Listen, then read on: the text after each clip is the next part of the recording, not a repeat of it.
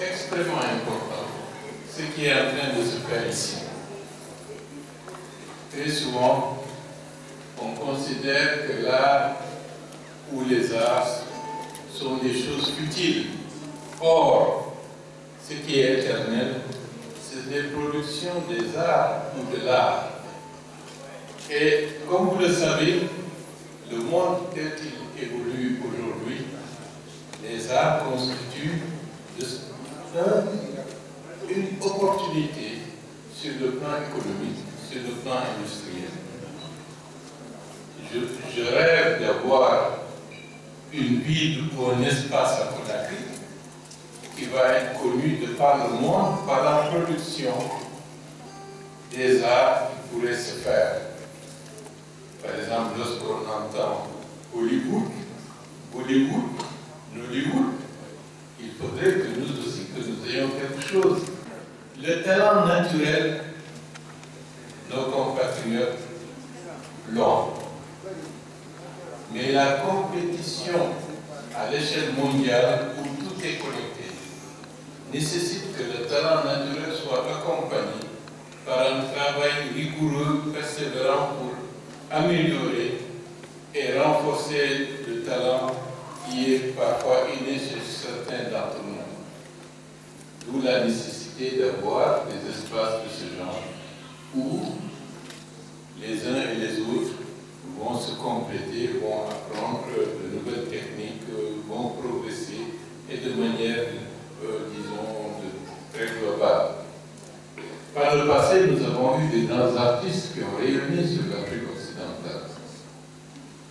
Lorsqu'on voit aujourd'hui Abidjan, avec tout, euh, tout ce qui s'y passe,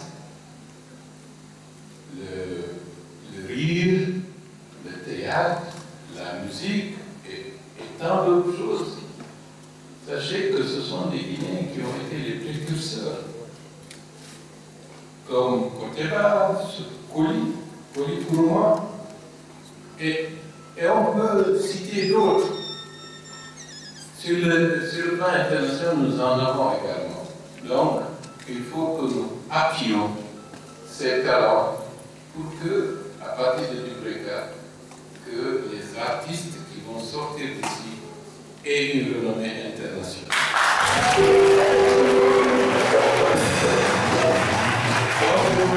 Bon travail. Les outils qui sont à vos dispositions, c'est pour vous permettre de vous épanouir il faut les utiliser à bon escient. Travailler, travailler, travailler, renforcer vos talents.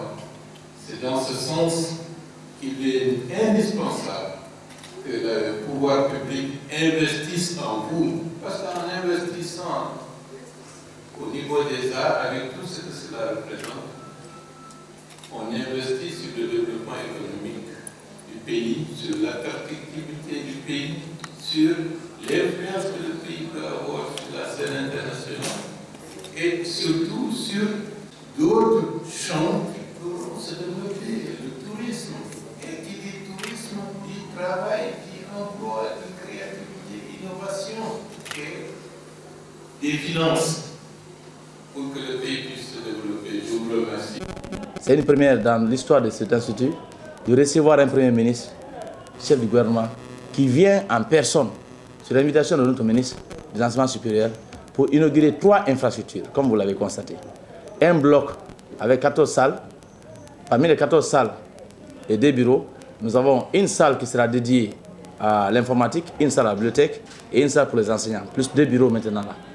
Et après, il y a eu le studio.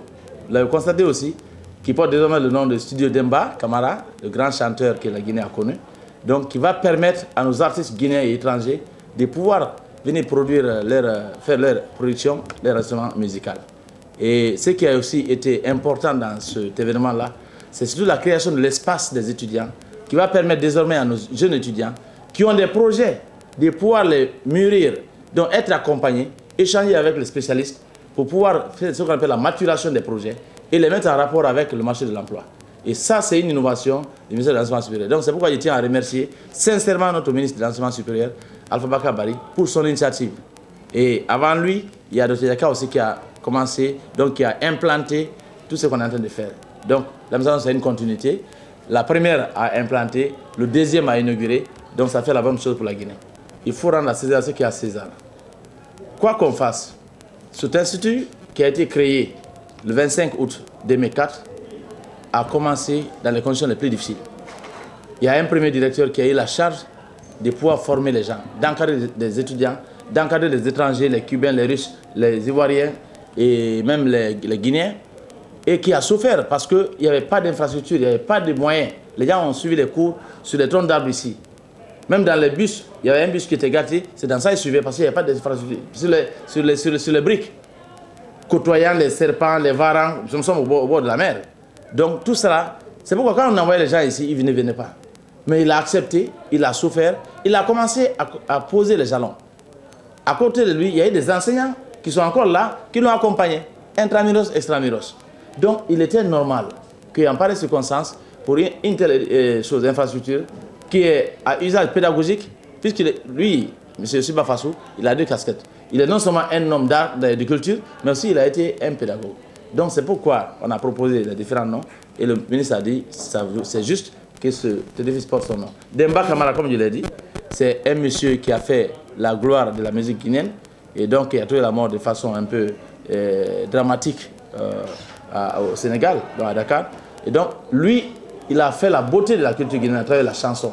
Donc même aujourd'hui, si vous écoutez ces, airs, vous vous rendez compte que c'est un monsieur qui a, qui a fait la, gloire de la musique guinéenne. Donc c'est normal que le studio qui porte son nom soit vraiment euh, dédié à l'une des figures.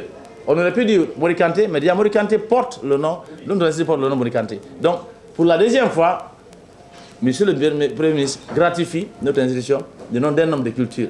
Donc l'Institut porte le nom de Morikante, qui est un grand chanteur qui a fait l'honneur euh, qui a fait la gloire de la Guinée à travers le monde. Et puis Demba maintenant qui vient être comme le deuxième homme de culture hein, qui va être immortalisé à travers ce studio de production des artistes. Et dans ce peu de temps, nous allons avoir sa photo et qu'on va mettre à l'intérieur là-bas. Et puis désormais, avec euh, sa date de naissance et sa mort, chacun saura que ce studio porte son nom. On remercie l'effort du gouvernement, à sa tête le président Doumbouya. Mais il y a toujours des choses à faire. Là où nous, suivons l'interview ce n'est pas un bâtiment administratif digne de ce nom. C'est les cases d'Ahmed Sektouré au temps de, son régime, qu'on appelle les cases Siri. Nous avons besoin d'un édifice R plus 3 qui va abriter les services centraux de l'institution là. Pendant que vous, posez la question, mais pour le, pour le financier, dans un bâtiment à location. Mes départements sont en un bâtiment à location. Ce n'est pas une fierté pour nous. C'est vrai, on a eu beaucoup, mais il reste encore à faire. On a besoin d'un hôtel de l'université, pour recevoir les différents musiciens qui viendront. Quand un MEW quitte la Côte d'Ivoire pour venir, il ne va pas loger ailleurs. Si on a l'hôtel ici, il paie non seulement l'hôtel, mais il paie aussi le studio. Ça fait recette. Parce que la vision de, son, de, notre ministre d'enseignement supérieur, c'est de faire en sorte que 50% des recettes soient générées par nos structures, par nos universités. Sinon, si on compte sur le bien de l'État, le jour que les moyens vont finir dans les mains de l'État, ça sera la souffrance.